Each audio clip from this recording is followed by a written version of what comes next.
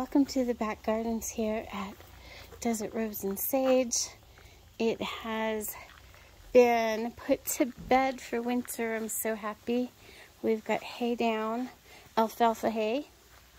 Need to be really clear about that. To, Timothy hay will get you weeds, but alfalfa hay feeds the plants really well and also helps reducing how much you need to water. And it is a weed suppressor. So the dogs are confused. They're not sure what it's all about. We kept them in while we did all the work. So we're ready for winter now. We've got all the all the hay put in back up here.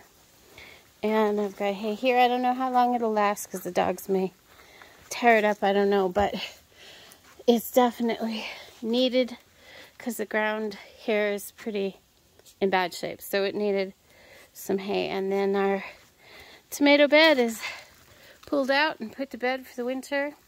My herbs over here will grow throughout the winter, hopefully with the protection, and then the hay will help that. I still have one job left, and that is to lay mulch on top of the strawberry bed. But I've got a little hay in there for the roses. And then we also got the big roses cut back in the courtyard, the, the secret garden. But that's a video for another day. So it's pleasant out today and everything looks, I'm so happy that it has all its goodies for the winter. It'll absorb all of those nutrients and everything will be nice and healthy throughout the winter. And the dogs still don't really know what this stuff is. They're like, hmm, is it something to eat? We don't know. all right. Be gentle with you.